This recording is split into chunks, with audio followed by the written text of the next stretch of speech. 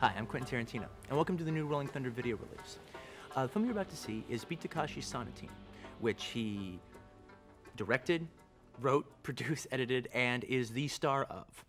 Uh, and we were really proud to release it here in America. Actually, the film that you're about to see has um, played all over the world and has, has gotten quite a few, uh, quite quite a bit of acclaim in all the different festivals it played and everything. And, and the film is actually quite has made uh, Beat Takeshi one of the you know uh, most exciting directors uh, to come out of Japan in the last decade. And I think when you see the movie, you'll understand why. It's, it's a slightly different take on uh, the standard Yakuza film. Uh, I'm going to be here after the film is over to kind of uh, talk about, uh, you know, what Yakuza films are and what his are in particular, and just talk a little bit more about the man and, you know, just kick it. Anyway, in the meantime, enjoy Sonatine, and I'll see you after the movie. Okay,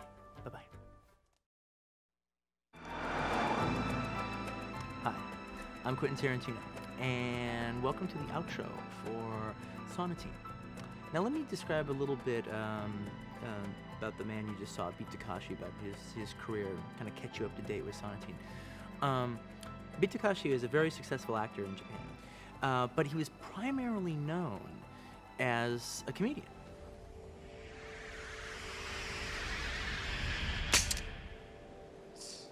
One thing you need to know about um, um, the Japanese Yakuza film is uh, it's a long-standing genre in Japan. The the uh, Yakuza or Yakuza um, is the Japanese equivalent of the mob. The Yakuza films changed drastically in the early 70s when uh, the director uh, Kinji Fukasaku, who did the film uh, Black Lizard, which uh, uh, you might have seen, and he also directed the Japanese segments of Tora Tora Tora, best segments in the movie, um, did a, a, Yakuza film called Fight Without Jingi.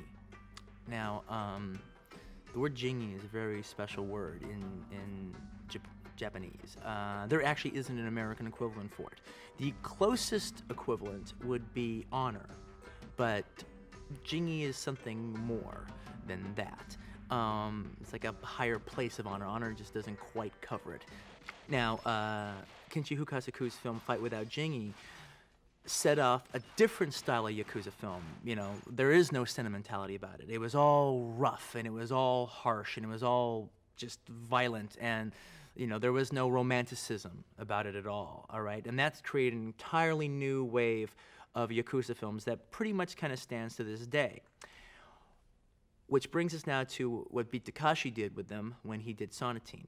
Basically, something has happened in Japan where the main movie going audience who decides to see a film is the women, either the wife or the girlfriend, which actually is not too different from the way it used to be in America in the 30s and 40s. I've heard Orson Welles talk about that, that it was, you know, it was the woman at home reading film fun and everything and saying, hey, let's go see the new Tyrone Power movie. And they were the ones that kind of picked, picked the movie. And the you know, husband and boyfriend kind of just went along. Well, that's the case that exists right now in Japan.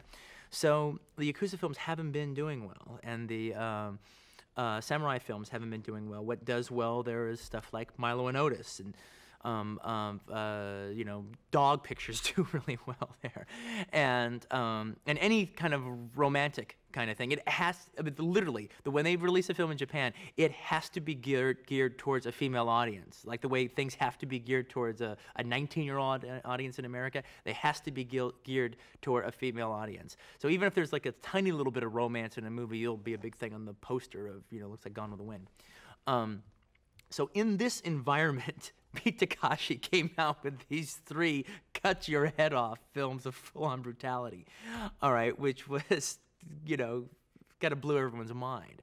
All right. And oddly enough, um, you know, well, actually, maybe not oddly enough, these films actually didn't do that well in Japan. They got a tremendous amount of um, uh, press. He was extremely, uh, uh, he, he, was you know, taken as one of the most exciting directors to emerge in Japan uh, in the, the last decade. But box office wise, they only did okay.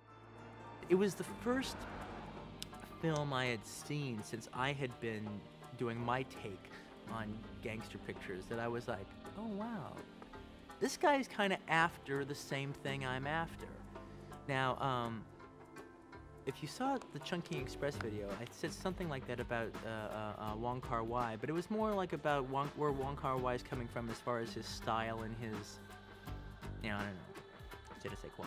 But uh, uh, as far as with uh, Beat Takeshi, it truly is. He's actually kind of going down the exact same road I'm going in his own Japanese Beat Takeshi way you know and it's like you know it's it's his you know and he's much actually much more of a minimalist than i am which is again one of the things I, I, I, I love about his work, and just that whole the whole scene with the the Russian roulette scene is one of the most funny and surprisingly shocking scenes I've, I've ever seen. And I think that's uh, that's that's a true masterpiece scene. But um, uh, but this was a, just a like a bracing bucket of cold water in the face of uh, uh, uh, the Japanese film industry and Yakuza films, and the critics loved it.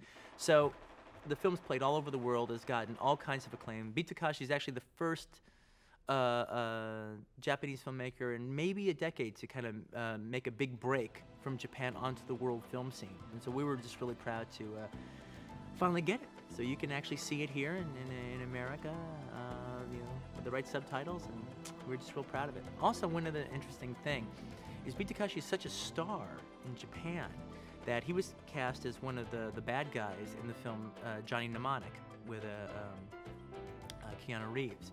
But some Japanese money went into the making of Johnny, uh, Johnny Mnemonic.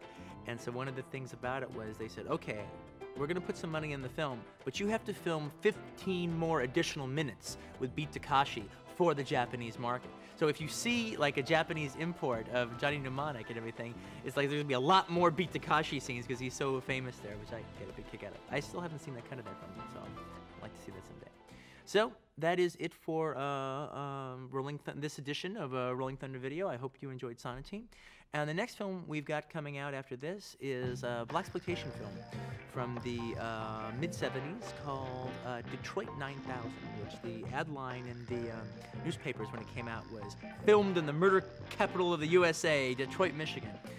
Uh, and it stars uh, Hari Rhodes and uh, Alex Rocco and Vonetta McGee, and is directed by Arthur Marks, who artists such terrific films as Monkey Hustle and um, Bucktown.